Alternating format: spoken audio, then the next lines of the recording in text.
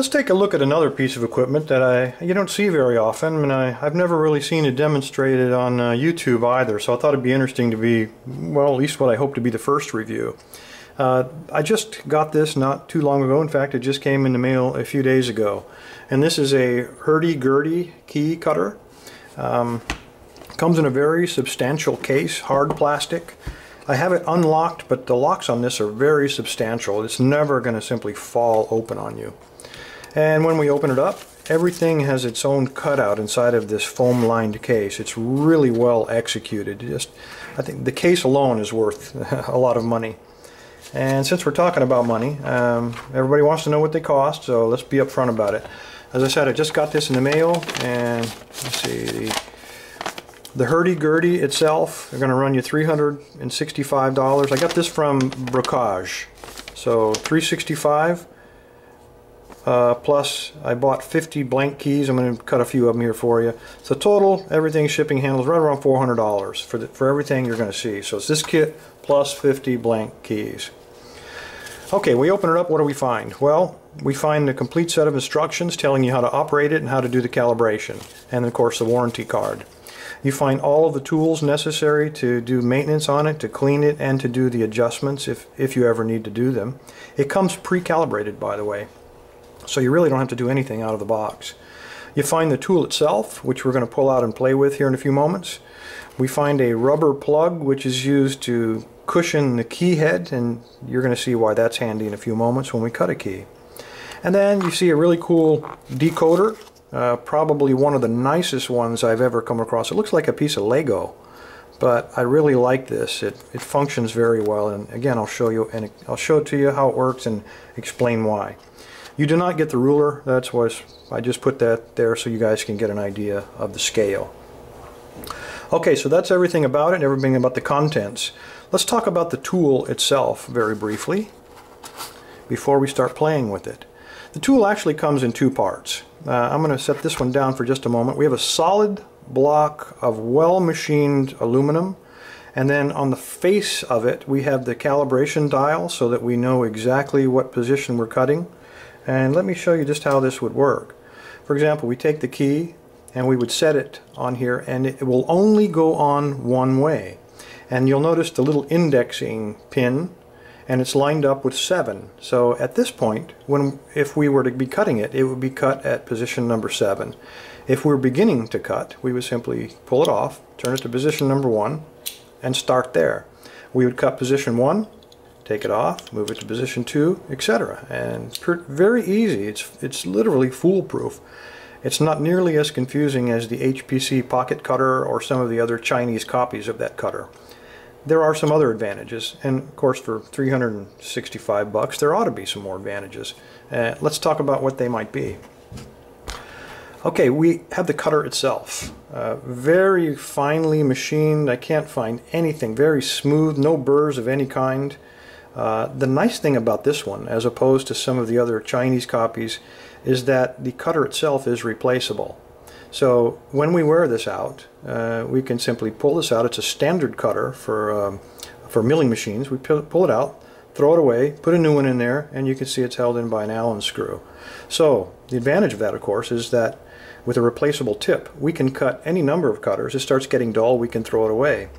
The other advantage is that we're not limited to just cutting brass keys, which tend to wear over time. We can actually cut steel keys because we know we can replace the cutter. We may only be able to cut 50 steel keys before we need a new cutter, but at least we can cut them and we don't have to throw the entire tool away. Okay, uh, this is the shaft that fits up inside of the block and you can see when we put it in there the cutter extends through so it can actually grab a hold of the key and begin cutting it. Now how do we know how deep to cut? Well, we have a calibrated dial on this side uh, and easy to read. We There's a little arrow here on the tip. We simply loosen the lockdown nut, here this red one, red thing here, and we turn it to whatever number we want, say 4. We lock it down on 4, we insert it uh, as uh, far as we can, and then we begin turning this crank or just turning it with the cutter like this. Now you might notice that the way that I'm putting pressure on this key is I'm putting my thumb in these in this machine notch on this side and my fingers in this side. So it makes it very easy to put pressure on the back of that key to put it flush with the face of this dial so that I can cut to the full depth. The difficulty, of course, is that it's a sharp edge and it cuts into the palm of your hand. Now we get to the importance of this small piece of rubber. It's literally a piece of hose that's been cut. We take the edge of the key, stick it inside of there, and now you see we have a cushioned uh, edge against the palm of my hand so that when you turn this dial and you put pressure that way to cut the key, it doesn't dig into the palm of your hand. It's a really cool, well designed well thought out, uh, I want to say toy, but uh, piece of equipment. Okay, so what do we cut? How, how do we know what to cut? Let's set this down for just a moment and we're going to cut a key. But before we do that, let's figure out how we're going to uh, decide what to cut. Well, most of you have these tools, the SouthOrds, and the SouthOrd comes with the little uh, decoding tool, and you can see the numbers on here. All we need to do is pick a lock. And from my earlier videos, you guys know that I came across about 42 of these things with no keys. So I'm going to cut some keys today. That's where my 50 keys are going for these things. Well, I took my SouthOrd tool, I picked it, and then once you pick it with this tool, you lock it down and then you can decode it. And you decode it using this tool and you simply start at position 1. Now, this is important.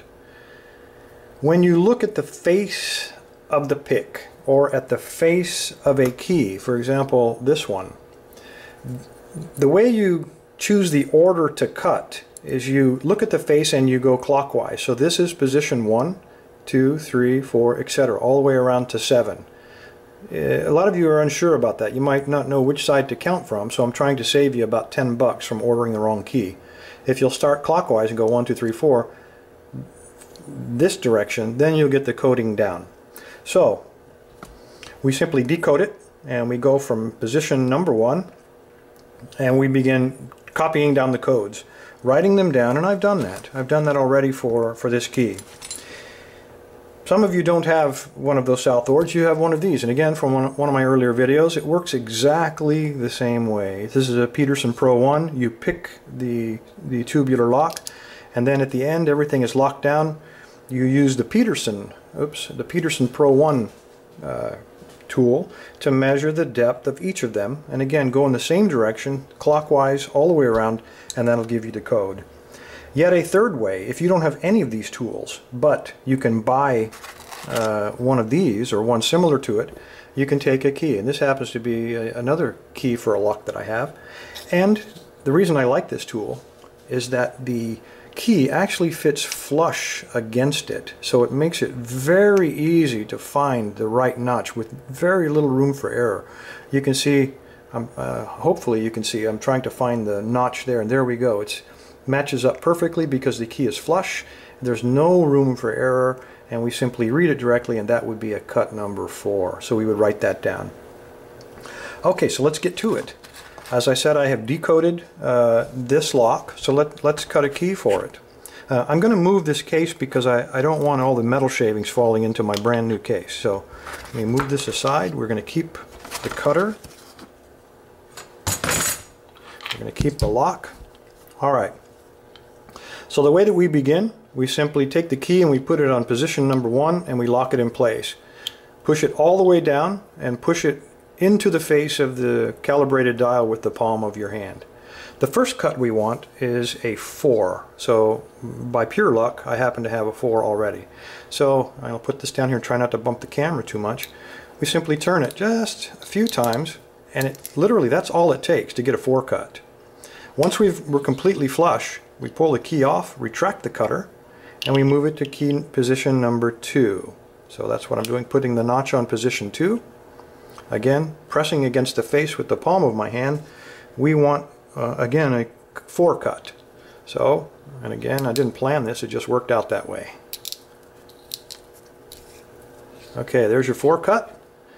Retract the cutter, move to position number 3, and for 3 we want a 3 cut. Now all we need to do is loosen up the red uh, lock nut, dial it down to position 3. We can align it with the top of the arrow here, tighten the lock nut down again, and then cut position cut a three cut in position number three. And that's all it takes. Retract our cutter, move it to position number four. Position number four is a two cut.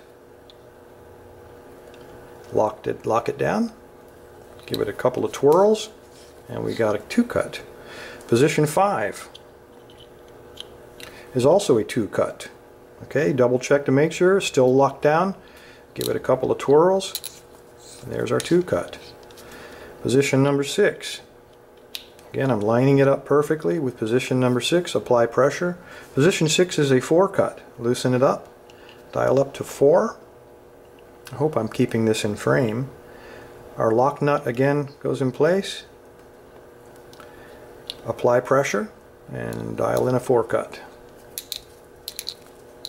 It's so easy you don't need to use this crank. You can just turn it with your fingers. It's just so easy to cut. And then the last one, position number 7, line it up with 7, flush with the face, apply pressure, and 7 is a 1 cut. So we'll loosen this up, dial up a 1, lock it down, and dial up a 1. And a 1 is almost no cut whatsoever. Okay, at that point we have a key. If there's any burrs, and there aren't, you can see it does just a super job. I hope, I hope that's focusing. It does a really good job. No burrs, everything's nice and sharp. No rounded edges, nice and sharp edges on everything. And then let's just see if our if it was worth all the trouble. Put a key in, and bam, it opens. Perfect, just perfect. Anyway, there you go. It's uh, every everything from the design to the carrying case to the instructions are just top top notch. I can't recommend this tool highly enough. I, I just absolutely love it. Uh, I'm going to be using it quite a bit today to chop out about 41 more of these keys for all of the other locks. So anyway, thank you very much for your time. Everybody stay safe and uh, stay legal.